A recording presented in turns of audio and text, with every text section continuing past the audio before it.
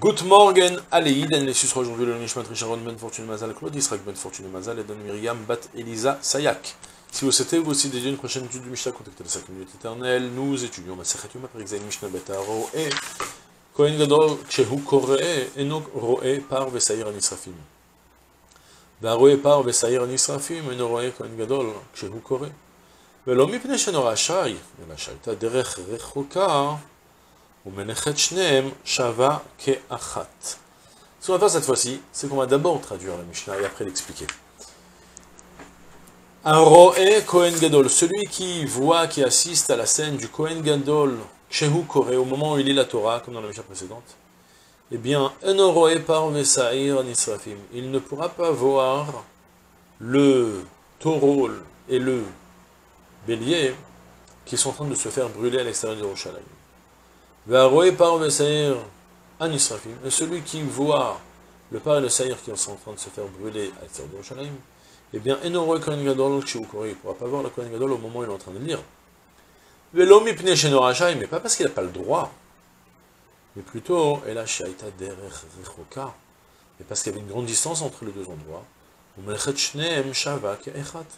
et le, euh, et le, la melacha, des, donc, et ces deux travaux étaient réalisés les deux en même temps. Donc en fait, vous avez compris qu'on est en train de comparer, on est en train de préciser qu'en fait, il y avait simultanément deux avodotes qui, qui se deux, avodotes, deux, deux étapes du grand jour de Yom Kippour qui se produisaient en même temps.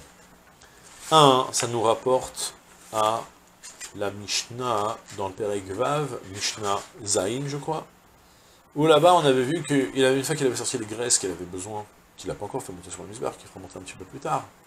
Il prenait ensuite les restes du par et du saïr, il les attachait sur des bâtons, et il envoyait avec des gens qui allaient les sortir à l'extérieur d'Irushalayim pour les brûler à l'extérieur d'Irushalayim. Dans la Mishnah précédente, on a vu qu'une fois qu'il avait reçu le signal que le Saïr était arrivé dans le désert ou au Tzouk, et bien le Kohen commençait à lire la Torah.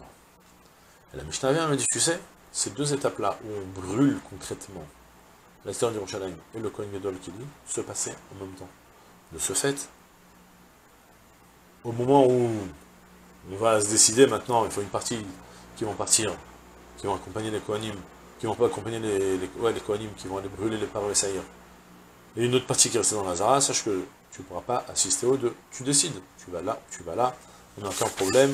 Il n'y a pas de problème de navire et la maison, entre parenthèses, le partenaire il parle de ça, c'est la qui parle de ça. Que même si concrètement, de manière générale, quand j'ai une mitzvah qui se présente devant moi, j'ai pas le droit de la laisser pour faire autre chose.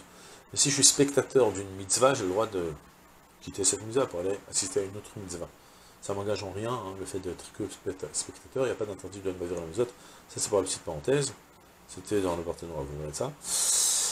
Et donc la Michel me dit, bah, tu sais, ces deux étapes, où le Kohen Gadol qui lit, et qui est là, lorsqu'on brûle à l'extérieur du Kohen ça se passait simultanément, donc si tu as décidé là-bas, tu ne pourras pas voir ce qui se passe ici, si tu as décidé de ici, tu ne pourras pas voir ce qui se passe là-bas.